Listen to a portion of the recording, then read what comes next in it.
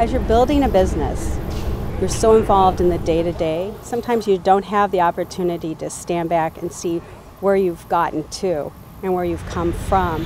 And I think through your children, sometimes that gives you the opportunity to do that. And when you can stand back and see what they've taken on and how they've grown, then you can see what's happened with your company. And it, it's a good feeling, and you feel that you know you're turning it over to good hands that will continue with the values that you've instilled in them and in your company.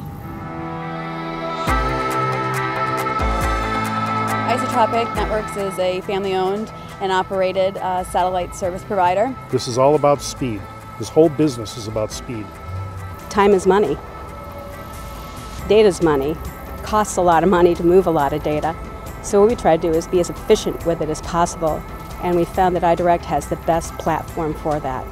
The decision we made recently was to completely refit our hub with iDirect's latest hardware solution to move away completely away from Infiniti, Evolution, go to Velocity in the IQ series. More throughput per client, more throughput per satellite. It allows us to open up new markets. It allows us to enhance the markets we're in currently. And it's built for the long term. Being one of the first or the first to upgrade to Velocity will be uh, future proofing our network. Just like iDirect has never let us down, we've never let our clients down. The fact that we're family owned, we're entrepreneurs, um, you know, where we have the ability to only answer to ourselves and to the clients. We have the ability to provide assistance immediately. One of our disaster clients found that they were having interference at the site. Hank and I were on an airplane and we were at the site within an hour and a half. We shielded the antenna from that source of interference and we brought them up.